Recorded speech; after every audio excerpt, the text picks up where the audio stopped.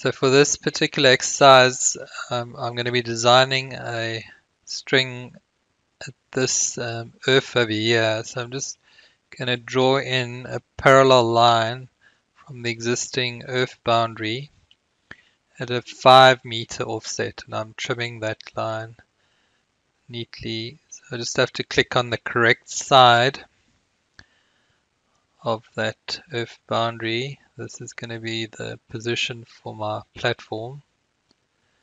Always have to be careful that you click on the correct side and closest to the line. So I'll zoom in a bit there that you want to offset from.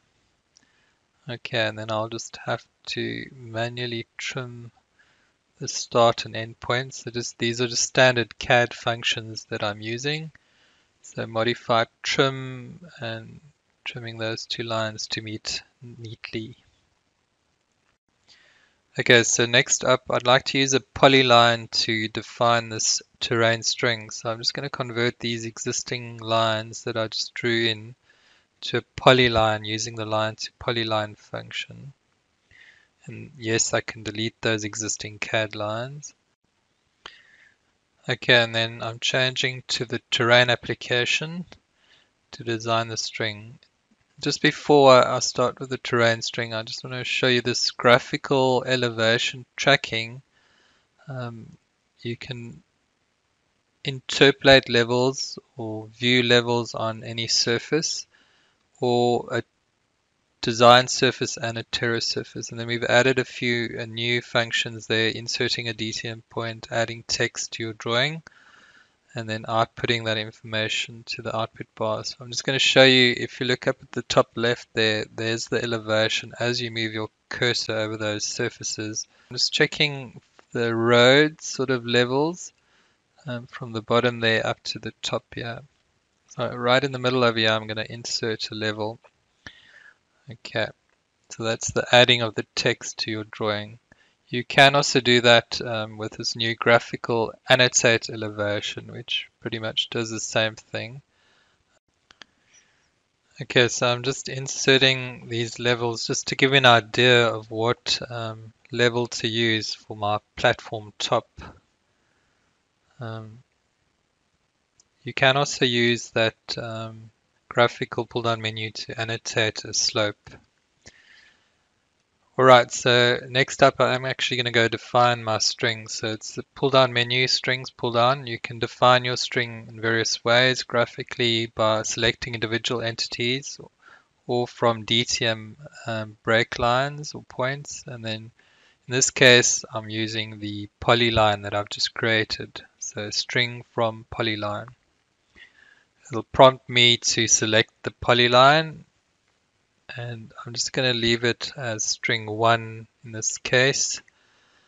Okay, and then the elevation that I'm going to use is 1366, I think, just to give it a slightly higher level than the road um, to the top side. So different ways of setting up for height. Um, you can do interpolate from a surface as well. And you can also set your chainage interval for the arcs if you haven't got an arc in your perimeter. I get an option to define another polyline, but I'm not going to use that in this case. So just right click and quit. Okay, so I've just selected my string and just verifying that it is now a terrain string at the correct Z value, so that 1366 elevation that I assigned to the string. And then we're going to go create the banks for our platform. So it's string creation, create child. And then always important to click on the correct side. You get prompted for which side. So you can go to the inside or the outside uh, or both, but initially only obviously one side. So I'm clicking on the outside just to create my banks for this uh, particular platform. Okay, so the operation type um, selection, you've got a grade with a horizontal and a vertical offset. You've got grade to surface, vertical horizontal offsets, and then horizontal offset to elevation or grade to an elevation. So in this case, I'm going to use the grade 2 surface just to create a normal bank for my platform. So grade to surface. Specify your surface to grade down to and then your cut and fill slopes. So I'm just initially going to use 1 in 3 for my cut and my fill and I want to include the strings model. So any existing terrain strings or road string would be taken into consideration. And there it is. Um, your child string has been created. I'm just going to switch on my banks in the properties bar and then just clear so you can see the cut and fill areas. Up top here we've got quite a bit of cut and then down towards the other side we've got a bit of fill. So remember your short bank lines always on the higher side. Okay, so next up, what I want to do is just show you the, the render view, but I just want to change some of my settings here just to make it little bit clearer how the road and the terrain string platform interact. So I'm just switching off some shading so we can clearly see the the platform with the banks and then the road with the banks.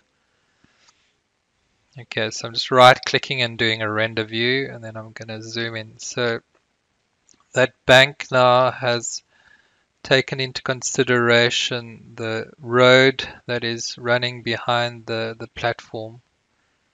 So when it um, intersected with the ground at that 1 in 3 slope, it looked at the, the DTM and then where the road was, it's actually intersected with the road as well. So you can see that line is tying in neatly. That bank line is tying into the actual road bank line as well. Okay, so that is my render view. I'm just going